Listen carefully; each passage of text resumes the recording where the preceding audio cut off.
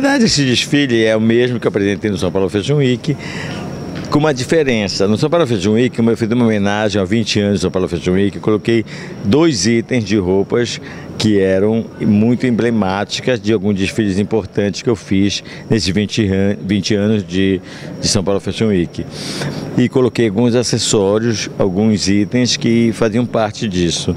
Aqui em Fortaleza eu acho que não tinha necessidade, não tinha por que eu fazer isso, então eu tirei essas partes e ficou a coleção realmente como ela é, na verdade.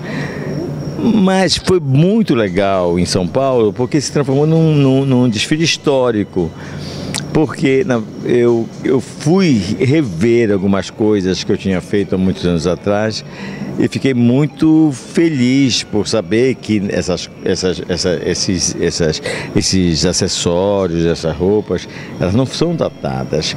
Você pode colocar em qualquer desfile, até no futuro, elas geralmente elas ficam muito bem é, é, colocadas nos desfiles tão atuais. Eu fiquei muito feliz com isso.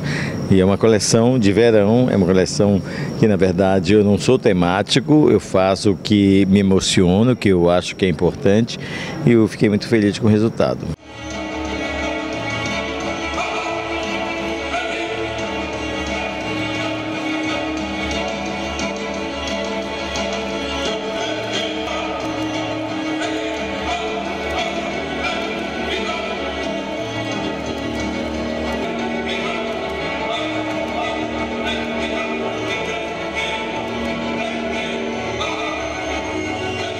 Fiquei muito feliz, estou muito feliz porque eu acho que em Fortaleza é uma forma de eu agradecer essa cidade que me acolheu quando eu vim morar aqui, que acolheu meu trabalho, que me incentivou para fazer o que eu faço até hoje, que eu acho que não sei se eu faria a mesma coisa se eu morasse em outra cidade, ou outro, outro lugar.